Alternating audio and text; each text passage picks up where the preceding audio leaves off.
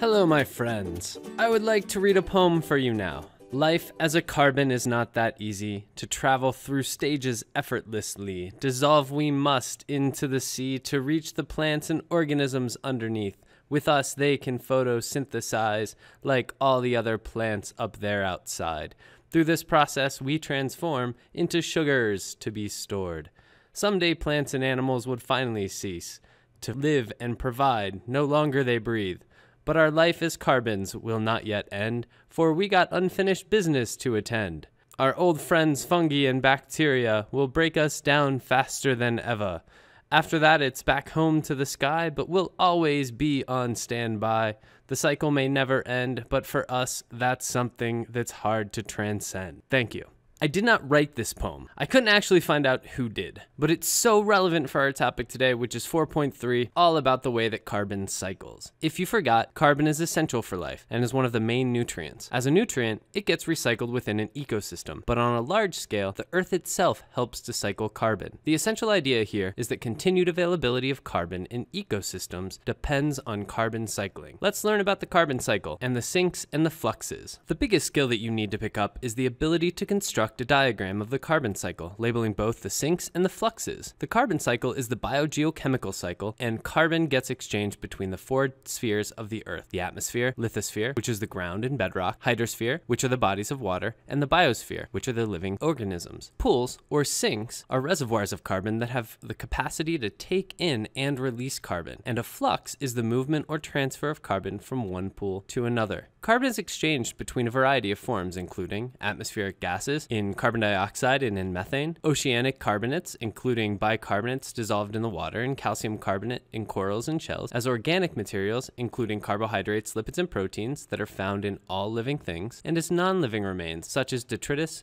and fossil fuels. Here you can see the breakdown of terrestrial carbon and aquatic. Carbon is everywhere. In this last depiction of the carbon cycle, which is the one we're going to be using a lot in class, you can see the sinks, also known as pools, in white, while the fluxes are in yellow. As it states here, you need to know how to draw and label the sinks and fluxes of the carbon cycle. One sink is the carbon compounds in all producers. In addition to getting energy in an ecosystem, producers have a huge responsibility to attain carbon and cycle that into the ecosystem. Autotrophs, such as all plants and algae, convert inorganic carbon dioxide into organic compounds via photosynthesis, which you can see here. These organic compounds include the carbohydrates, lipids, and proteins required by the organism for survival. Just a reminder, unless it's a chemoautotroph, producers use photosynthesis, taking carbon dioxide from the habitat and along with water converts that into glucose energy. So how do autotrophs get their CO2 into their systems? By the process of diffusion. Since autotrophs typically use carbon dioxide for photosynthesis, the levels of carbon dioxide within the organism should always be low. In other words, carbon dioxide should always be at a higher concentration in the atmosphere or water. This concentration gradient ensures that carbon dioxide will passively diffuse into the autotrophic organism as required. Diffusion is an important concept in biology and one we'll come across during cell biology and also human physiology. Organisms may produce chemical energy, also known as ATP, required to power metabolic processes via the process of cell respiration. This cell respiration involves the breakdown of organic molecules like sugars and produces carbon dioxide as a byproduct. You can see here in the image with this cute little bunny rabbit. Once again, diffusion comes to the rescue as the buildup of CO2 in respiring tissues creates a concentration gradient, allowing it to be removed by passive diffusion at the cellular level and then leaving the organism wherever gas exchange occurs. Even in autotrophs, cellular respiration occurs. Autotrophs use cellular respiration the same way as a heterotroph heterotroph would to make macromolecules and power metabolic processes. In autotrophs, the uptake of CO2 by photosynthesis may at times be balanced by the production of CO2 by respiration. This is known as the compensation point, at which the net carbon dioxide assimilation is zero. That's where the intake equals the output. On a large scale, the amount of carbon dioxide in the environment will be determined by the level of these two processes. If there's more net photosynthesis than cell respiration occurring in the biosphere, atmospheric carbon dioxide levels should drop. If there's more net respiration than overall photosynthesis occurring, atmospheric carbon dioxide levels should increase. But these are not the only things to consider with regards to the carbon cycle. Let's go under the sea and check out aquatic systems and their their interactions with carbon. Carbon dioxide dissolves in water, and some of it will remain as a dissolved gas. However, the remainder will combine with water to form carbonic acid, which is the CO2 plus H2O yields H2CO3. Carbonic acid will then dissociate or break up to form hydrogen carbonate ions. This conversion also releases hydrogen ions, which is why pH changes when CO2 is dissolved in water, and that means it becomes more acidic. The more CO2 dissolved, the more acidic a body of water will be. Bodies of water, so the hydrosphere, are a very large sink for carbon. Acidity has some implications that we're going to discuss later. One of the fluxes of carbon is the transfer in the hydrosphere from organisms and water into the sediment through the process of sedimentation. Hard-shelled organisms, like mollusks and corals, use carbon dioxide and water to ultimately make calcium carbonate, which is what the hard shells of these critters are made of. When the organism dies and settles to the seafloor, these hard components may become compacted and fossilized in limestone, which you can see in the picture. Additionally, when the hydrogen carbonate ions come into contact with the rocks and sediments on the ocean floor, they acquire metal ions and may form limestone as well as a precipitate. This is not as common as the biological method of forming limestone. Shifting slightly, let's talk about the transformation of dead organic material into methane. As we learned in topic 5, one of the domains we have are the archaea, and within that are the methanogenic archaea. These are found in more extreme conditions, in this case, where oxygen is scarce. When oxygen is scarce, we call it anaerobic. These methanogens produce methane from the byproducts of anaerobic digestion, principally acetic acid and carbon dioxide. This is how CO2 is involved and gets converted into methane. Anaerobic conditions can be found in swamps and wetlands, landfill sites, marine sediments, and ruminant stomachs like cows and sheep and goats. When methanogens make methane, it can be trapped underground as natural gas deposits or released into the atmosphere as a gas. So what happens to the methane, Mr. O? Does it just leave the carbon cycle? No dice, folks. When methane is released into the atmosphere as a result of anaerobic reactions, it persists for roughly 12 years. Methane will be naturally oxidized to form carbon dioxide and water. Methane can also be combusted, and the same outcome will occur. This is why methane levels in the atmosphere are not very large, even though significant quantities are being produced. However, since the Industrial Revolution, human sources of methane emissions have been growing. Things like fossil fuel production, livestock farming, landfills and waste, biomass burning, biofuels, and then other natural sources of methane. So keep this in mind as we go into 4.4 and discuss climate change, because we'll later learn how methane is also a greenhouse gas. Great, peat. Sometimes, when dead plants do not get fully decomposed due to acidic or anaerobic conditions, this brown soil-like substance called peat can form. This typically occurs in swamps, bogs, and wetland areas, and is composed of mosses,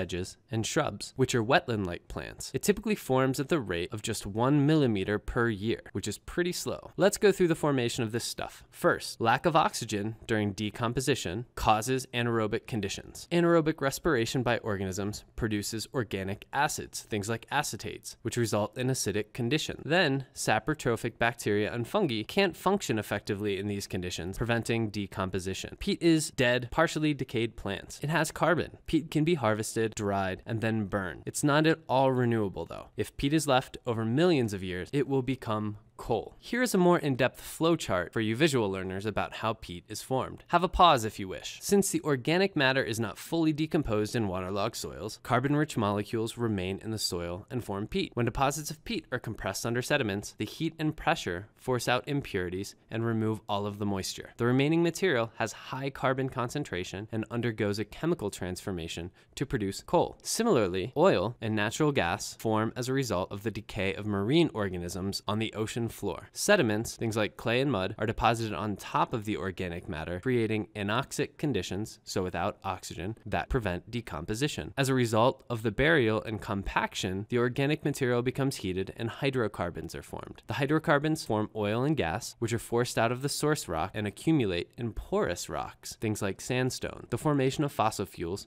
so coal, oil, and gas, takes place over millions and millions of years, making them a non renewable energy source. Humans then use these energy sources in daily processes. This has some pretty hefty implications, as carbon is essentially locked and stored in the ground as these substances through fossilization, and it is a sink. Until humans come along and unlock the carbon, sending it back into the atmosphere as carbon dioxide. During the process of combustion. Yes, that's right. Us humans add to the chaos of a carbon cycle when we burn carbon. Don't get me wrong, combustion combustion happens naturally as well. So, what is combustion? Well, combustion is a chemical process in which the substance reacts rapidly with oxygen and gives off heat. You can see the chemical formula given here. The reactants, which, if you recall from physical science, are on the left side and consist of the fuel source along with oxygen. In the presence of energy, it will burn. The products on the right side are carbon dioxide and water. In terms of the sources, you can input any fuel. We can break those sources into fossilized fuels, things like peat, coal, oil, and natural gas, and also biomass, which are things like biodiesel, bioethanol, and just things that are not fossilized but contain carbon, like trees. So something like forest fires can also be combustion.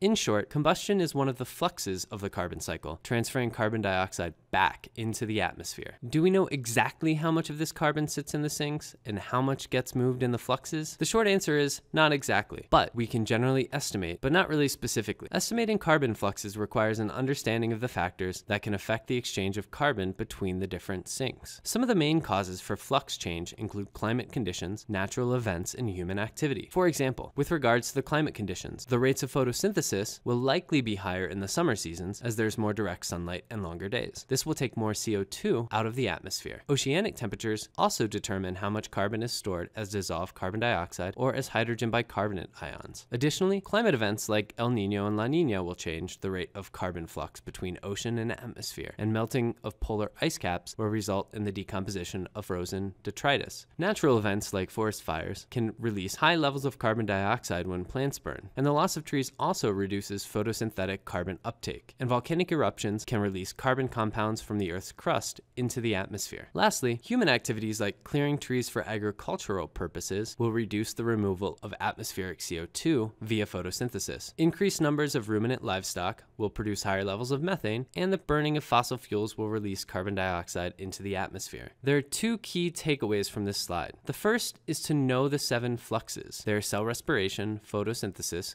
combustion, incomplete fossilization, feeding, death, and excretion. The other key is to know the unit of measure for carbon values. This is gigatons of carbon per year. Did you know that a giga is derived from the Greek word for giant and stands for 1 billion? So yeah, a gigaton is 1 billion tons. Lastly, you must be able to explain the annual fluctuation in atmospheric carbon dioxide in the northern hemisphere. Atmospheric CO2 concentrations have been measured at the Mauna Loa Observatory, which is in Hawaii, since 1958 by Charles Keeling. This is a lot of data, and from these continuous and regular measurements, a clear pattern of carbon flux can be seen. First, CO2 levels fluctuate annually. That means every year. So it's lower in the summer months when long days and more light increase photosynthetic rates and draw more carbon dioxide out of the atmosphere. Global CO2 trends will conform to northern hemisphere patterns as it contains more of the planet's landmass, which will have more trees. Carbon dioxide levels are steadily increasing year on year since the Industrial Revolution due to the increased burning of fossil fuels. Atmospheric CO2 levels are currently at the highest levels recorded since measurements began. That's all I got.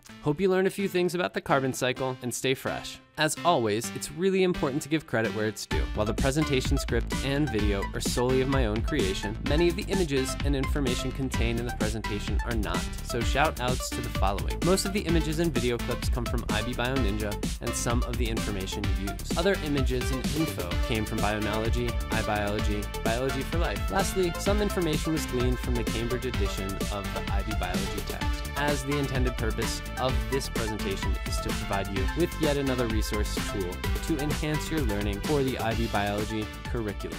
So peace out.